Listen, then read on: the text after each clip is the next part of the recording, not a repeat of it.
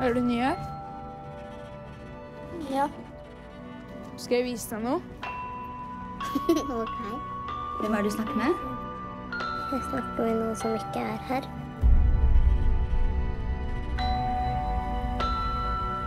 Hold den opp.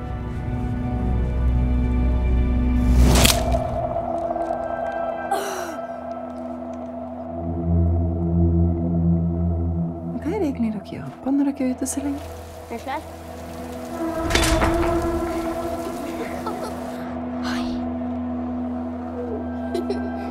Hva er det griset her? Jeg kan få folk til å gjøre ting.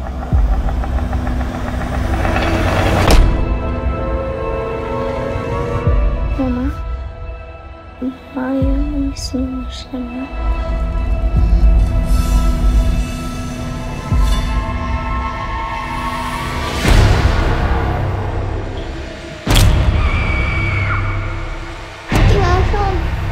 Slutt, mamma.